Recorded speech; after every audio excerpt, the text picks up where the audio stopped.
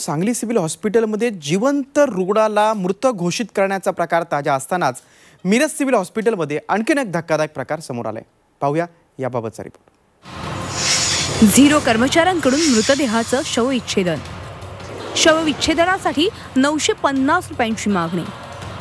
मृतांच्या नातेवाईकांची खुल्याम लूट. मिरज सिव्हिल हॉस्पिटलमधील धक्कादायक प्रकार. सांगलीच्या मिरजेतील शासकीय मेडिकल कॉलेजचे सिव्हिल हॉस्पिटल कायमच ह्या ना त्या कारणांमुळे चर्चेत असतं.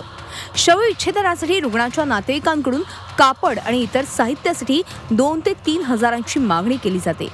आता मात्र बेकायदेशीरित्या कार्यरत असणाऱ्या झिरो कर्मचाऱ्यांकडून मृतांच्या नातेवाईकांची लूट सुरू आहे. नागरिकांनी स्टिंग ऑपरेशन करून हा सगळा प्रकार उघडकीस आणलाय. सगळे शिवलमध्ये गरीबच असतात. रक्तात आम्ही खेळायला जात तिथं. बॉडी याच्याही बॉडी आहे तुमच्या बॉडीला पॉझिटिव्ह आहे. नऊशे वीस रुपये. होते चल पॅकिंग कर. देतात पैसे दे बॉडी आत घेऊया इकडे घेऊया चला. जा दोन जावा. उचलून फक्त ह्याच्यात ठेवा. या सगळ्या प्रकाराकडे हॉस्पिटल प्रशासनाचं मात्र दुर्लक्ष होत असल्याचा आरोप होतोय. जे कर्मचारी नियुक्त केलेले आहेत ते शासन नियुक्त कर्मचारी नसून झिरो कर्मचारी या ठिकाणी नियुक्त केलेले आहेत. आणि ते कर्मचारी सदैव दारूच्या नशेमध्ये असतात.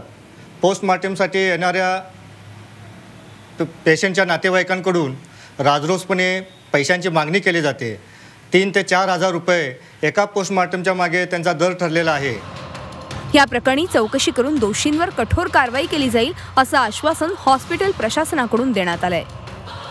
वैद्यकीय महाविद्यालयाच्या अधिष्ठाता डॉक्टर पल्लवी सापळे यांनी त्या त्या संदर्भामध्ये चौकशीचे आदेश दिलेले आहेत. या प्रकरणाच्या न्यायवैद्यकीय वैद्यक विभागाकडून अहवाल मागवलेला आहे आणि तो अहवाल प्राप्त झाल्यानंतर याच्यावर कडक कारवाई करण्यात येईल. सर्वसामान्य गरीब रुग्ण आणि त्यांच्या नातेवाईकांना लुटण्याच्या प्रकारानं मिरज सिव्हिल हॉस्पिटलचा कारभार चव्हाट्यावर आलाय. रुग्णालय प्रशासन ह्या प्रकरणी कारवाई करणार असं म्हणतंय. मात्र असे प्रकार रोखण्यासाठी कडक पावलं उचलण्याची गरज आहे. Ravindra कांबळेसह bureau report Zee media Sangli. Zee चोवीस तास. रहा एक पाऊल पुढे.